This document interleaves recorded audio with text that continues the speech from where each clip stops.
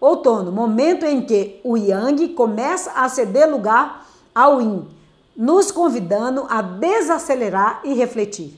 O outono é uma estação de transformação, tanto na natureza quanto dentro de nós.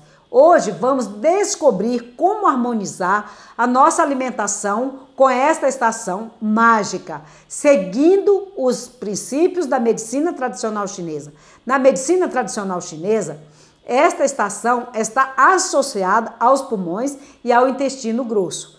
Fortalecê-los é crucial para manter a saúde e a vitalidade durante o outono. Incorpore alimentos que nutrem o yin e umidifica os pulmões, como peras, maçã, abóbora, especiarias como gengibre. Opte por métodos de cozimentos mais lentos, como sopas e ensopados, que são ideais para nutrir o corpo e a alma no outono. Além da alimentação, não esqueça de cuidar do seu bem-estar emocional e espiritual, praticando meditação e passando tempos na natureza.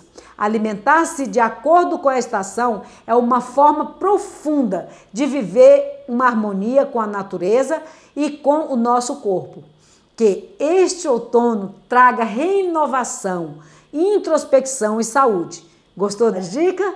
Então compartilhe esse vídeo com seus amigos, com seus vizinhos, deixe o seu like para que outras pessoas também possam ter conhecimento dessas informações que é tão importante, pertinente para nós, principalmente neste momento de tantas doenças, tantas enfermidades, principalmente depressões, né, tristezas, resfriados, alergias respiratórias. Se você cuidar bem dessa alimentação, com certeza você vai chegar ao inverno com muita facilidade e com muita saúde. Você sabia também que o pulmão é mãe do rim na hierarquia da medicina chinesa, dos cinco elementos? Se você fortalecer bem o seu pulmão, você vai dar uma energia boa para os seus rins. Se você não se alimenta adequadamente na estação outono, você vai chegar enfraquecido na estação do inverno. Provavelmente você vai ter pânico, medo, dores lombares, fraqueza nas pernas, indisposição, falta de coragem.